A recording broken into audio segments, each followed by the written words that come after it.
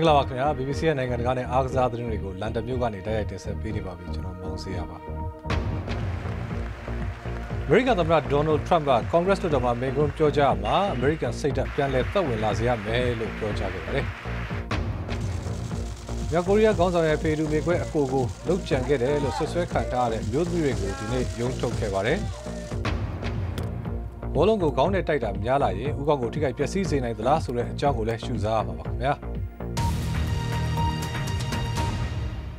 အမေရိကန်သမ္မတဒေါ်နယ်ထရမ့်ကသူသမ္မတတာဝန်ယူပြီးတလကြော်ကြော်အကြာမှာကွန်ဂရက်လွှတ်တော်မှာပထမဆုံးချိန်မိန့်ခွန်းပြောကြားခဲ့ပါတယ်။သူကညီညွတ်ရေးရဲ့ခွန်အားအတွက်သတင်းစကားတွေကိုပြောကြားပေးနေတာဖြစ်တယ်။ကြီးကျယ်ခမ်းနားတဲ့အမေရိကန်မှာခေတ်သစ်တစ်ခုအစပြောနေပြီဖြစ်တယ်လို့ပြောခဲ့ပါတယ်။လူပါတွေပြောခဲ့တယ်လဲဆိုတော့ကမှမေဆန်နီကဆက်ပြီးပြောပြပေးမှာပါ။သမ္မတထရမ့်ဟာသူ့ရဲ့ပထမဦးဆုံးလွှတ်တော်မိန့်ခွန်းကိုစင်မော်မတက်ခင်အချိန်ထိလေ့ကျင့်ပြင်ဆင်ခဲ့ပါတယ်။ The President of the United States နိုင်ငံရေးပြင်ပကလာသူတယောက်ဖို့ဒီနေရာဟာနယ်ပယ်တစ်တစ်ခုလို့လည်းဆိုနိုင်ပါတယ်ထရမ့်ဟာနယ်စပ်လုံခြုံရေးကိုအလေးထားပြီးတော့ပြောကြားခဲ့ပါတယ် We must restore integrity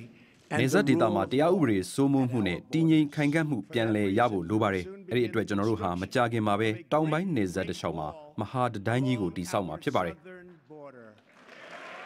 လူဝင်မှုကြီးကြပ်ရေးအပိုင်းမှာတော့ထရမ့်ဟာလေသံနဲ့နဲ့ပြောခဲ့ပါတယ်။မူဝါဒတွေပြင်ဆင်သွားမယ်လို့ပြောခဲ့ပါတယ်။ I'm going to bring back millions တန်းနဲ့ချီတဲ့အလုပ်ကိုင်းတွေပြန်ရအောင်လုပ်ပြီးအမေရိကန်နိုင်ငံသားတွေကိုအကာအကွယ်ပေးဖို့ကျွန်တော်တို့ရဲ့လူဝင်မှုကြီးကြပ်ရေးစနစ်ကိုပြုပြင်ဖို့လိုပါတယ်။တစ်ချိန်တည်းမှာပဲသူ့ရဲ့မိကွန်းထဲမှာဒေါ်လာထရီလီယံနဲ့ချီတန်တဲ့ယင်းနှိမ့်မြုံနှံမှုတွေလစာနဲ့ခွင့်ရရတာမျိုးလိုဒီမိုကရက်တွေသဘောကျမဲ့အချက်တွေပါဝင်ပါတယ်။ဒါပေမဲ့အများစုကတော့ခက်တီတီပဲနေခဲ့ကြပါတယ်။ The same blood we all salute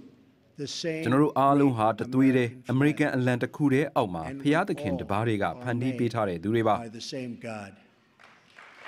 အခုတစ်ချိန်ဟာဒေါ်နယ်ထရမ့်သမ္မတဖြစ်ပြီးနောက်ပိုင်းတကယ်သမ္မတတူအဖြစ်ပြီးသားစွာပြုမှုခဲ့လို့သူ့ရဲ့ပါတီဝင်တွေလည်းစိတ်သက်သာရာရခဲ့ပါတယ်ကန်တက်ကီပြည်နယ်အုပ်ချုပ်ရေးမှူးဟောင်းစတီဗန်ဘက်ရှီယာကသမ္မတမိန့်ခွန်းနဲ့ပတ်သက်ပြီးဒီမိုကရက်ပါတီဘက်ကတရားဝင်တုံ့ပြန်ချက်ကိုကြေညာခဲ့ပါတယ် President Trump also needs to understand that people may disagree with him from time သမ္မတထရန့်ကသူနဲ့သဘောထားမတိုက်ဆိုင်တဲ့သူတွေရှိမယ်ဒါပေမဲ့အဲ့ဒီလူတွေကသူ့ရန်သူတွေမဟုတ်ဘူးဆိုတာနားလည်ဖို့လိုပါတယ်သမ္မတတယောက်အနေနဲ့အမေရိကန်ရဲ့ထောင်လိုင်းအေဂျင်စီတရားရေးစနစ်စစ်တပ်သတင်းလွတ်လပ်ပိုင်ခွင့်တွေကိုတိုက်ခိုက်နေတာဟာသူ့အပေါ်ဒီလူတွေပြောဆိုမှုကိုမကြိုက်လို့လည်းဖြစ်တယ်ဒါဟာအမေရိကန်ဒီမိုကရေစီကိုတစတစဆုတ်ယုတ်လာစေတဲ့မစင်မချင်းလောက်ရတစ်ခုဖြစ်ပါတယ် မစ္စတာဘတ်ရှာရဲ့ပြောဆိုချက်ဟာသမ္မတရဲ့မိကွန်းအပေါ်တက်တက်ညာညာတိုက်ခိုက်လိုက်တာလည်းဖြစ်ပါတယ်။ထရမ့်ရဲ့မိကွန်းဟာလွတ်တော်ခမ်းမရဲ့တစ်ဖက်တစ်ချက်မှာထိုင်နေကြသူအလုံးကိုကိုစားပြုမပြုတဲ့အမေရိကန်ရဲ့ပါတီကြီးနှစ်ခုအတွင်းမှာသဘောထားကွဲလွဲမှုတွေဆက်ပြီးရှိနေသေးတာကိုမိမောင်းထုတ်ပြနေပါတယ်။သမ္မတထရမ့်အနေနဲ့အမေရိကန်မှာစီးလုံးညီညွတ်မှုရဖို့ရှေ့လျှောက်လှုပ်ရှားတွေအများကြီးရှိသေးတယ်လို့ဆိုရမှာပါရှင်။ကျမမေဆန်ဒီပါရှင်။ခရိုချာနိုင်ငံကသတင်းတွေကိုဆက်ရှုစားပါခင်ဗျာ။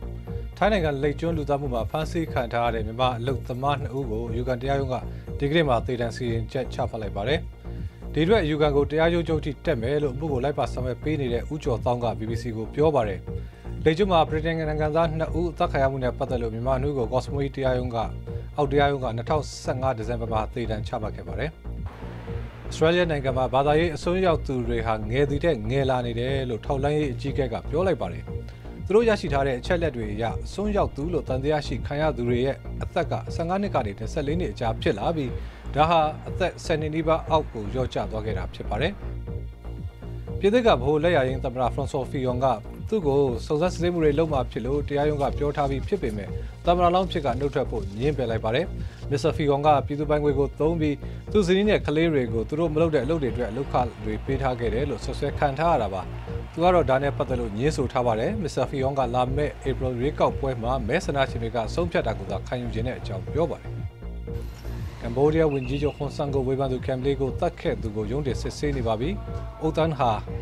ရင်စစ်သားဟောင်းတူဖြစ်ပြီးပြီးခဲ့တဲ့2016ကမြို့တော်ဖနွမ်ပင်မှာကမ်ဘလီကိုတနက်နဲ့ပြစ်တက်ခဲ့တယ်လို့ဆွဆွဲခံထားရပါတယ်။သူကတော့ငွေကြေးကိစ္စကြောင့်မကျေနပ်လို့ဖြစ်တယ်လို့ပြောပါတယ်။ ကမ္ဘောဒီးယားမှာဒီလိုနိုင်ငံရေးအရင်ခံတဲ့အကြမ်းဖက်မှုတွေရှိခဲ့ဘူးသလိုအခုတစ်ခါမှလည်းကမ္ဘောဒီးယားရဲ့ဒီမိုကရေစီလှုပ်ရှားမှုတွေကြောင့်အသက်ခံရတာဖြစ်ပဲလို့ယူဆသူတွေလည်းရှိနေကြပါတယ်။အိန္ဒိယနိုင်ငံကတမီလ်နာဒူပြည်နယ်တွင်းမှာရှိတဲ့ဆိုင်တော်တော်များများမှာကိုကိုကိုလာနဲ့ပက်ဆီကိုရောင်းချတော့မှာမဟုတ်ပါဘူး။ကုန်သွယ်ရေးဖွဲ့စည်းတစ်ခုကဒီကုမ္ပဏီကြီးတွေဟာပြည်နယ်တွင်းမှာမိုးခေါင်လို့လယ်သမားတွေဒုက္ခရောက်နေချိန်မှတော့ပြည်နယ်တွင်းကရေသယံဇာတတွေကိုအသုံးချနေကြလို့ သူတို့အေးတွေကိုမတောက်ဘဲသပိတ်မောက်ကြဖို့အဖွဲ့ဝင်တွေကိုပြောထားပါတယ်။ခုတ်တဲ့ပက်ဆီတို့ကိုကိုစားပြုထားတဲ့အဖွဲ့ကတော့စိတ်ပြတ်မိတဲ့အကြောင်းပြောပါတယ်။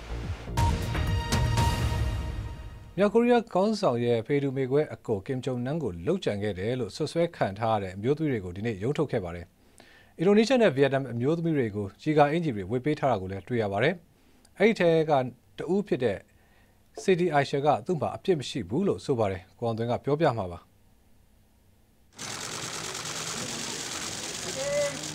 မြောက်ကိုရီးယားကောင်းဆောင်ကင်ဂျုံယန်ရဲ့အကူကိုတတ်မှုနဲ့ဖမ်းဆီးခံထားရတဲ့မျိုးသမီးနှူးတွေကတူဖြစ်တဲ့စီတီအိုက်ရှာကိုလုံခြုံရေးစောင့်ကြပ်တွေထူထပ်စွာနဲ့တရားရုံးထုတ်ခဲ့ပါတယ်။သူ့မှာပြစ်ရှိတယ်ဆိုရင်တော့သူဟာကြိုးပေးခံရဖို့ရှိပါတယ်။အင်ဒိုနီးရှားကသူ့ဇာတိရွာကအိမ်ကိုရောက်သွားတော့အစိုးရတာဝန်ရှိသူတွေနဲ့မီဒီယာကလူတွေရောက်နေကြတာကိုတွေ့ရပါတယ်။စီတီအိုက်ရှာရဲ့မိသားစုတွေကမီဒီယာတွေနဲ့စကားပြောဖို့ညှင်းဆန်ကြပါတယ်။ kuat kalau terus ditanya-ditanya seperti itu tadi. မိခွန်းတွေထက်ခါထက်ခါဖြေဖို့သူ့မှာအားမရှိဘူးသူခံစားနေရတာကိုကျမတို့လေးစားဖို့လိုပါတယ်အရန်ကိုသူစိတ်ရှုပ်ထွေးနေတယ်သူဘယ်လိုခံစားနေရမယ်ဆိုတာစဉ်းစားကြည့်လေဆိုးရွားတဲ့အခြေအနေကိုသူကြုံနေရတာဒီတရားရုံးကသူ့သမီးရဲ့ကံကြမ္မာကိုအဆုံးဖြတ်ပေးမှာ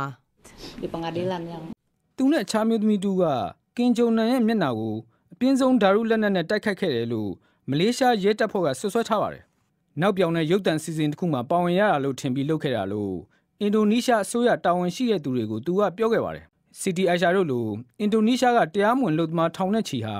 မလေးရှားကိုဝင်ထွက်သွားလာလွတ်လုံနေကြတဲ့သူတွေဖြစ်ပါတယ်။ဒီအချက်ကသူ့အတွက်အားနည်းချက်လို့ရွှေပြောင်းသူတွေအခွင့်အရေးလှုပ်ရှားနေသူတွေကပြောပါတယ် kita menduga kuat dia sebagai ဒီကိစ္စမှာသူဟာသားကောင်တစ်ယောက်ဖြစ်တယ်လို့အပြည့်အဝယုံကြည်ပါတယ်။ သူ့မတိုင်ခင်မူရစ်ကိုင်းနေအသုံးချခံခဲ့ရတဲ့တခြားရွှေပြောင်းတဲ့သူတွေလည်းဒီပုံစံမျိုးနီးတူဖြစ်ခဲ့တာပါ။ပြီးတော့အဖမ်းခံရပြီးရာဇဝတ်သားတွေအဖြစ်အမြင်ခံခဲ့ရတယ် korban gitu. we expect uh, and we hope သူ့အတွက်တရားမျှတတဲ့တရားစီရင်ရမယ်လို့ကျွန်တော်တို့မျှော်လင့်ယုံကြည်နေပါတယ်။ဥပဒေအရအပြစ်ရှိတယ်လို့သက်သေမပြနိုင်ခင်အထိသူဟာအပြစ်မဲ့တဲ့သူတစ်ယောက်ပါ he's guilty. ။ဒီမူလာရန်ကျောင်းမှာ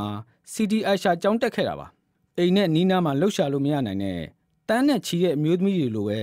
သူလည်းနိုင်ငံခြားထွက်ပြီးလှုပ်လို့ရပါတယ်။အခုတော့နိုင်ငံရခြားမှာခြေချမဲ့သူ့အိမ်မက်တွေဟာလည်းအိမ်မက်ဆိုးဖြစ်ပြောင်းသွားပါပြီ။ကျွန်တော်အောင်သွင်းပါကရောကစားသမားတွေကိုရှုစားရအောင်ပါခင်ဗျာ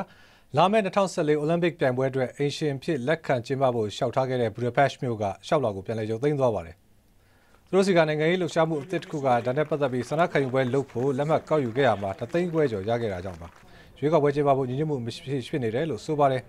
ဒါကြောင့်အခုဆိုရင် Los Angeles မြို့နဲ့ Paris မြို့တို့သာကျန်ပါတော့တယ်ဘယ်မြို့အင်ရှင်ဖြစ်လာမလဲဆိုတာလာမယ့် September လမှာနိုင်ငံတကာ Olympic Committee ကဆုံးဖြတ်ပါပါတရုတ်ဘောလုံးလောကရဲ့စောင်းရသည့်အပြောင်းရွှေ့ကာလအတွင်းမှာဒေါ်လာသန်းပေါင်း430သုံးခဲ့လို့ဒါဟာအင်္ဂလိပ် Premier League Club တွေတက်တောင်မှပိုများသွားပါတယ်။ အဲ့ဒီစောင်းရသည့်အပြောင်းရွှေ့ကာလဟာမနေ့ကပဲပိတ်သွားခဲ့ပြီဖြစ်ပြီးတရုတ်ကလပ်အသင်း16ခုကပြီးခဲ့တဲ့ January အပြောင်းရွှေ့ကာလအတွင်းမှာ Premier League Club တွေသုံးခဲ့တဲ့ဒေါ်လာသန်း280ကိုကျော်တက်သွားခဲ့တာပါ။သူတို့စီပါလဲပြပကစားသမားတွေပါဝင်မှုနဲ့ပတ်သက်ပြီးကန့်သက်ချက်တွေကိုလာမယ့်ဘောလုံးရာသီမှာစတင်ပြဋ္ဌာန်းသွားဖို့ရှိပါတယ်။ကမ္ဘာအိုလံပစ်ပြိုင်ပွဲတွေမှာအအောင်မြင်ဆုံးနဲ့ဆုတံဆိပ်အများဆုံးဆွတ်ခူးခဲ့တဲ့ရေကူးချန်ပီယံ Michael Phelps ကသူ့အနေနဲ့နိုင်ငံတကာအဆင့်မှာ လုံးဝတားမြစ်စိတ်သုံးဆွဲမှုကင်းတဲ့ပြိုင်ပွဲတွေပြိုင်ခဲ့ရမယ်လို့မထင်ခဲ့မိတဲ့အကြောင်းပြောပါတယ်။အသက်32နှစ်ရှိပြီဖြစ်တဲ့ Michael Phelps ကအောက်လွှတ်တော်ရဲ့ကြားနာမှုကော်မတီမှာလာပြောခဲ့တာပါ။ဆက်လက်ပြီးအမေရိကန်ကဥပဒေပြုသူတွေကိုလည်းတကမ္ဘာလုံးမှာတားမြစ်စေသုံးဆွဲမှုတိုက်ဖျက်ရေးနဲ့ပတ်သက်လို့ပြုပြင်ပြောင်းလဲမှုတွေလုပ်နိုင်ကြဖို့စ조사ဖို့အတွက်တိုက်တွန်းခဲ့ပါတယ်။ American ဆိုကကမ္ဘာတားမြစ်စေတိုက်ဖျက်ရေး agency ကိုငွေထောက်ပံ့ပေးနေတာဖြစ်ပြီးအခုကော်မတီကနေနောက်ထပ်ငွေတွေထပ်တိုးပေးဖို့ကိုအစိုးရကိုအကြံပေးနိုင်မှာဖြစ်ပါတယ်။ အီဂျစ်နိုင်ငံမှာရှိတဲ့ Gara ဆိုတဲ့ရွာလေးဟာဖန်တယ်လုပ်ငန်းနဲ့ပတ်သက်ရင်အင်မတန်ကြော်ကြားပါတယ်။သူတို့စီမှာရှေးကနီးတွေကိုလည်းဆက်လက်ထိန်းသိမ်းထားပါတယ်။နောက်ပြီးတရားလုံးမှာလည်းအလုတ်လက်မဲ့မရှိဘဲအရွယ်ရောက်သူတိုင်းဟာအလုတ်ကင်ရှိပါတယ်။ကိုမိုးမြင့်ကဆက်ပြောပြမှာပါ။ဒီလိုတချွန်းချွန်းတချွန်းချွန်းနဲ့ဖန်သားအတန်တွေရဲ့အငွေတစ်ထောင်းထောင်းနဲ့မိဖို့ကြီးတွေရဲ့နဲ့ကိုင်လိုမြို့နဲ့ကီလိုမီတာ130လောက်ဝေးတဲ့ခါရာရွာလေးမှာဖြစ်ပါတယ် ဒီဒီရွာလေးမှာဖန်ချက်လုပ်ငန်းကိုအဓိကလုပ်ကိုင်ကြတာပါဒီပညာတွေဟာလည်းအီဂျစ်မှာပျောက်ကွယ်လူဖြစ်လာနေပါပြီဒီဖန်ချက်ဆက်က1986ခုနှစ်ကတည်းကတည်ခဲ့တာပါစက်ရုံလူသားတွေကလည်းမျိုးဆက်အလိုက်သင်ယူလာကြတာပါလက်ဆင့်ကမ်းအမွေပေးလာကြတဲ့လက်မှုပညာတွေပါ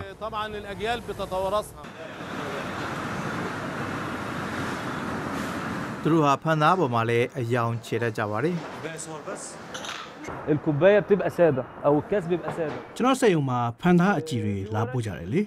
ဒီမှာပကြီးဆွဲစလုံးဖော်ရွှေရည်တင်တာတွေလုပ်ပြီးနောက်ဆုံးမိဖို့တွေထည့်လိုက်ကြတာပေါ့ဗျာ تفحره وبعد كده بي- بيتذهب بيطعم بالذهب ဂါရမှာလူ9000နေထိုင်ပြီးယာနှုံးပြည့်အလုတ်ကန်ရှိကြပါတယ်ပြီးတော့အနီးကတခြားရွာတွေကပါလာရောက်လုတ်ကန်နေကြပါတယ်ဖန်ဆက်လူသားတွေရဲ့ဝင်ငွေကတစ်လကိုဒေါ်လာ160လောက်ရကြပါတယ် ရွာထဲမှာဖန်ဆက်ယုံကြီး3ခုနဲ့တာမန်အလုပ်ယုံကလေး300လောက်ရှိကြပြီးအဲ့ဒီကထွက်သမျှကိုတော့အီဂျစ်ပြည်အနှံ့မှာရောင်းချကြသလိုပြည်ပကိုလည်းတင်ပို့ကြပါတယ်ကာရာရွာကန်တွေကလည်းဒီလက်မှုပညာတွေကိုဆက်လက်ထိန်းသိမ်းသွားခြင်းုံသာမကပဲအီဂျစ်ရဲ့အဓိကပုံကုန်ဖြစ်လာတဲ့အထိပါစီးပွားချက်ထွင်သွားဖို့စိတ်ကူးထားကြပါတယ်ကျွန်တော်မိုးမြင့်ပါခင်ဗျာ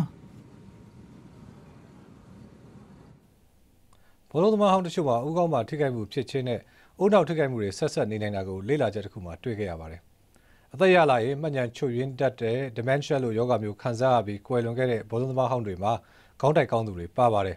။အဲဒါကြောင့်လည်းဥရောပဘောလုံးအဖွဲ့ချုပ်ကဘောလုံးကစားခြင်းနဲ့ dementia ဆက်ဆက်မှုရှိသလားဆိုတာလေ့လာတော့မှာပါ။ကိုသိမ့်မြတ်ကပြောပြမှာပါဘောလုံးကစားရမှာခေါင်းတိုက်တာဟာအရေးပါပါတယ်ဒါပေမဲ့ခေါင်းပကြခဏတိုက်ရင်ရေရှည်မှာအုံနောက်ကိုထိခိုက်စေနိုင်ပါသလား ဒီမေကွင်းရဲ့အဖြေကိုရနိုင်ဖို့အင်္ဂလန်လူရေးစဉ်ဘောလုံးသမားဟောင်းကြီး Jeff Astel ရဲ့မိသားစုကကြိုးစားနေကြပါတယ် Jeff ဟာ2002ခုနှစ်ကကွယ်လွန်ခဲ့ပါပြီသူဟာအဲ့ဒီခေတ်ကလေးလံလာတဲ့ဘောလုံးကိုမကြာခဏခေါင်းတိတ်တတ်ပါတယ်ဒါနဲ့ဆက်ဆက်သလားလို့ယူဆရတဲ့အုံနောက်ယိုယွင်းတဲ့ယောဂါကိုသူကခံစားခဲ့ရတာပါ if we can highlight it and push and ဒီကိစ္စကိုအဖေတယောက်တည်းအတွက်ကျမတို့လုပ်နေတာမဟုတ်ပါဘူးအဖေအတွက်စလုပ်ခဲ့တာဖြစ်ပေမဲ့အခုတော့ကြံမိသားစုတွေကလည်းကျမတို့အားထားလာနေကြတယ် ကျမတို့ကတော့လက်မလျှော့ပဲဆက်ကြိုးစားသွားမယ် stop fighting for them သိပ္ပံပညာရှင်တွေကပထမဆုံးအကြိမ်ဖြစ် dementia ဝေဒနာခံစားခဲ့ရတဲ့ကွယ်လွန်သူဘောလုံးသမားကြီး6ဦးရဲ့အုံနောက်ကိုလေ့လာနေကြပါတယ် And when we examined their brains at autopsy, we saw the sorts of changes that are seen. သူတို့ရဲ့ဥနှောက်တွေကိုလေ့လာခဲ့ရမှာမကြာခဏခေါင်းတိုင်ရန်ရတတ်တဲ့လက်ဝိတ်သမားဟောင်းတွေရဲ့ဥနှောက်တွေမှာတွေ့ရတဲ့အလားတူပြောင်းလဲမှုတွေကိုတွေ့ရပါတယ်။ ဒါကြောင့်ငယ်ရွယ်စဉ်ဥနှောက်တိုင်ရန်ရခဲ့ရင်ဥနှောက်ချုံရင်းပြီးတော့သတိမေ့လျော့စေတတ်တဲ့ dementia ဖြစ်လာနိုင်တယ်ဆိုတဲ့အထောက်အထားတွေဒီလေ့လာမှုကနေတွေ့ရှိခဲ့ပါတယ်။ which presumably has some impact on them developing dementia. ဘောလုံးအဖွဲ့ချုပ်ကတော့ကြေးစားဘောလုံးသမားတွေမှာဒီလိုအုံနောက်ချွတ်ယွန်းတာမျိုးပိုဖြစ်မဖြစ်သိကျင်တယ်လို့ပြောဆိုပြီးဒီသူရဒနာကိုပံ့ပိုးဖို့ဆုံးဖြတ်ထားတယ်လို့ပြောပါတယ် အခုလေ့လာမှုမှာကလေးတွေမှာအန်ဒီရရှိနိုင်သလားဆိုတာကိုမဆန်းစစ်ခဲ့ဘူးလို့သိပ္ပံပညာရှင်တွေကပြောပါတယ်ဒါပေမဲ့ American ဘောလုံးအဖွဲ့ချုပ်ကတော့17နှစ်အောက်ကလေးတွေကိုခေါင်းမတိုက်ဖို့ညွှန်ကြားထားပြီး rugby မှာလည်းအုံနောက်ကျမ်းမာရေးကိုအလေးထားဆောင်ရွက်နေပါတယ်ဒီတော့ဘောလုံးကစားနည်းမှာလည်းရေရှည်ထိခိုက်နိုင်မှုတွေကိုပိုသတိထားဆောင်ရွက်ဖို့အချိန်ရောက်ပြီလို့ပြောရမှာပါကျွန်တော်ပေါင်းသိမ်းမြတ်ပါ ခရော့ဆစ်လီကျွန်းကမောက်အက်နယ်မီးတောင်ကြီးပောက်ကွဲနေတဲ့ပုံတွေကိုရှုစားရအောင်ပါမြေထဲပင်လေကောင်းကင်ရံကိုထိန်ထိန်ညှိအောင်တော့ပောက်ကွဲနေတဲ့ဒီမီးတောင်ကြီးကနေရှေ့တောင်ရက်စီကိုချော်ရည်ပူတွေမှုတ်ထုတ်နေပါတယ်မောက်အက်နယ်ဟာဥရောပရဲ့တပ်ဝင်လှုပ်ရှားမှုအများဆုံးမီးတောင်ကြီးဖြစ်ပြီးတစ်နှစ်အတွင်းမှာအကြိမ်ကြိမ်ပောက်ကွဲတတ်လေရှိပါတယ်အခုတစ်ခါပောက်ကွဲမှုကြောင့်တော့ဘာအသေးချေပျက်စီးမှုမှမရှိဘူးလို့လည်းသိရပါတယ်ခင်ဗျာ BBC မြောက်ပိုင်းရဲ့နောက်ဆုံးကသတင်းတွေဓာတ်ပုံနဲ့ဗီဒီယိုတွေကိုတော့ www.bbcburmese.com မှာသွားရောက်ဖတ်ရှုနားဆင်နိုင်ကြပါတယ်။အဲဒီမှာသတင်းတွေအပြင်အတန်လွင့်အစီအစဉ်တွေနဲ့အထူးအစီအစဉ်တွေကိုလည်းတစုတစည်းတဲ့ပေါ်ပြပေးထားတာမို့အားပါတရကြည့်ရှုနားဆင်နိုင်ကြပါတယ်။ BBC မြောက်ပိုင်းရဲ့ Facebook မှာလည်းသတင်းတွေဖတ်နိုင်သလိုဝေဖန်အကြံပြုချက်တွေကိုလည်းဝင်ရောက်ရေးသားနိုင်ပါတယ်။ခုလို BBC ရဲ့ရုပ်သံသတင်းတွေကိုကြည့်ရှုအားပေးကြတဲ့အတွက်လည်းကျေးဇူးအထူးတင်ပါတယ်ခင်ဗျာ BBC ပြည်သက်များနဲ့တကွမြန်မာနိုင်ငံသူနိုင်ငံသားများအားလုံးကိုစိတ်နှပြကြမှာရွှေလမ်းပါစေခင်ဗျာ